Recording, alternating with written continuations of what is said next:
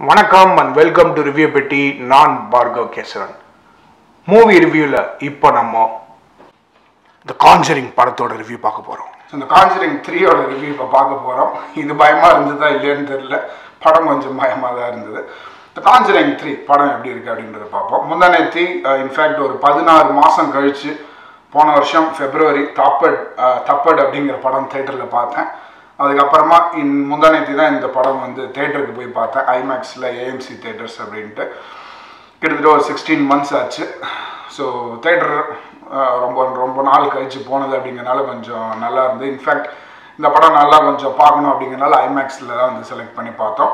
இப்போ பேண்டமிக் முடியுது மக்கள் இன்னும் வரணும் இனிமேல் தான் வர ஆரம்பிக்கணும் அப்படிங்கிறதுனால ஒரு டிக்கெட் வாங்கினா ஒரு டிக்கெட் ஃப்ரீ அப்படின்னு வேற போட்டிருந்தாங்க. ஸோ அதனால் இந்த படம் பார்த்துட்டு வந்தோம் முந்தா நேற்றுக்கு எல்லோரும் மாஸ்க்லாம் தான் போட்டிருந்தாங்க தேட்டருக்குள்ளே அண்டு ஒரு ஒரு பார்ட்டி முடிஞ்சதுக்கப்புறமா லெஃப்ட் அண்ட் ரைட்டில் வந்து ஒரு எம்டி சீட்ஸ் வேறு விட்டு வச்சுருந்தாங்க.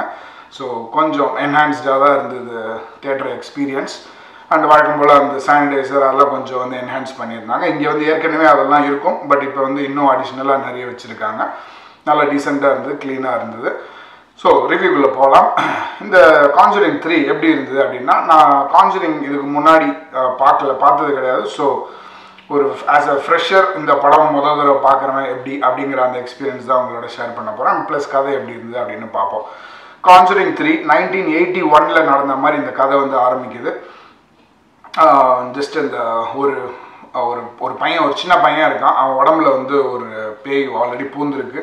அதை வந்து இந்த சர்ச் ஃபாதர் வச்சு இந்த இதெல்லாம் சொல்லி எப்படியாவது வெளியே கொண்டு வந்துடணும் அப்படின்றத வந்து ட்ரை பண்ணுறாங்க இதுலேருந்து வந்து படம் ஆரம்பிக்குது. பட் அந்த இன்னொரு த கூட இருக்கிற அந்த பையனோட அக்காவை கல்யாணம் பண்ணிக்க போகிற அந்த அந்த பையன் வந்து என்ன அந்த பையனை விட்டுரு எனக்குள்ளே வா அப்படின்ட்டு அந்த பேய் வந்து இப்படியே பிடிச்சி ஆக்ரோஷமாக வந்து கேட்குது ஸோ அவனுக்குள்ளே வந்துடுது இந்த பேய்.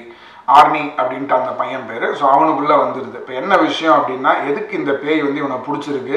எப்படி இந்த பேய் வந்து வர ஆரம்பிச்சது அப்படின்ட்டு எட் அண்ட் லாரன் அப்படின்ட்டு இது வந்து ஒரு ரியல் கேரக்டர்ஸ் தான். இன்ஃபேக்ட் இந்த கதையே வந்து ஒரு ரியல் ஸ்டோரி தான். முன்னாடி நடந்த ஒரு விஷயம் தான் அதோட ரியல் ஃபோட்டோஸ் அண்ட் இதோட வந்து போட்டிருப்பாங்க இதில் கடைசியில். ஸோ இந்த எட் அண்ட் லாரன் இவங்க ரெண்டு பேர் இந்த கப்பல் இவங்க வந்து இந்த பேய் பிடிக்கிற கப்பல் இவங்க. ஸோ அந்த பேயோட்டி மாதிரி. ஸோ இவங்க வந்து எப்படி எதுக்கு எப்படி வந்து இந்த பேய் முத முதல்ல வர ஆரம்பிச்சுது? இந்த வீட்டுக்குள்ளே எப்படி வந்தது? அந்த சின்ன பையனை முதல்ல ஏன் பிடிச்சிது? அதுக்கப்புறமா அந்த ஆர்னிக்குள்ளே ஏன் போச்சு? அது என்ன பண்ண ட்ரை பண்ணுது? இதெல்லாம் வந்து தேடி கண்டுபிடிக்க முயற்சி பண்ணுறாங்க இதுதான் இந்த கதை. கண்டுபிடிச்சாங்களா இல்லையா? அந்த பேய் ஏன் வந்து பழி வாங்குது? அந்த பேயை எப்படி ஓட்டுறாங்க? அப்படிங்கிறது தான் இந்த படத்தோட கதை. இது வழக்கமான எப்பயுமே இருக்கிற அந்த பேய் டெம்ப்ளேட் தான். அதே பேய் சினிமா தான். எல்லா பேய் சினிமாவும் ஒரே மாதிரி தான் இருக்கும். பட் வழக்கமாக வந்து இந்த ஒரு காட்டுக்குள்ளே தனியாக போய் ஒரு வீட்டில் போய் மாட்டி பேய் வந்து கொள்ளும் ஸோ அது மாதிரி இல்லாமல் இது ஊருக்குள்ளே இருக்கிற ஒரு வீடு தான்.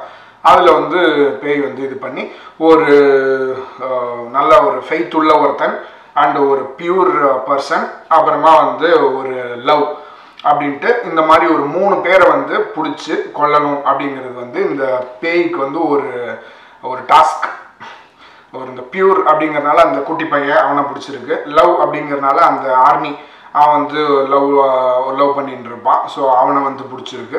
அதுக்கப்புறம் ஃபெய்த் அப்படின்னு இந்த கடவுள் நம்பிக்கை இருக்கிற ஒருத்தங்களை வந்து பிடிக்கணும் அப்படிங்கறனால அந்த அந்த எட்டையே வந்து ஒரு இடத்துல வந்து பிடிக்கும். ஸோ இந்த மாதிரி இந்த மூணு பேரை வந்து இது வந்து பிடிச்சிருக்கு. பட் அது வந்து அதோட வேலையை அது நிறைவேற்றுச்சா இல்லையா அப்படிங்கிறது தான் வந்து கிளைமேக்ஸ் ஸோ இந்த கதை எப்படி போகுது அப்படின்னா நல்ல நல்ல த்ரில்லராக தான் இருக்குது லைக் இன்ஃபேக்ட் எத்தனையோ டெம்ப்ளேட் இருந்தாலுமே கூட நல்ல சவுண்ட் எஃபெக்ட்லாம் வந்து தாறுமாறாக இருந்ததுனால ரொம்பவே வந்து நல்ல த்ரில்லிங்காக இருந்துச்சு. பட் இந்த சீன் ஒரு இந்த ஹால்வே காமிச்ச உடனே இப்போ அந்த இடத்துலேருந்து ஒன்று வரப்போகுது பாரு அப்படின்னு நினைப்போம்.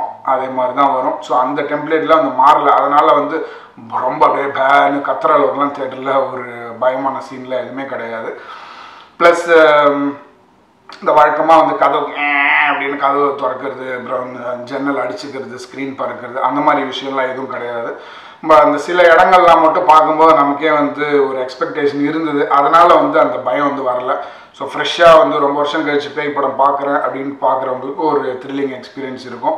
மற்றபடி வழக்கமாக வந்து நைட் டைமில் இருட்டில் பார்க்கும்போது அது அஸ்யூஷலாக இருக்கிற அந்த ஒரு த்ரில்லிங் அந்த டைமுக்குன்னே இருக்கிற ஒரு த்ரில்லிங் இருக்கும்.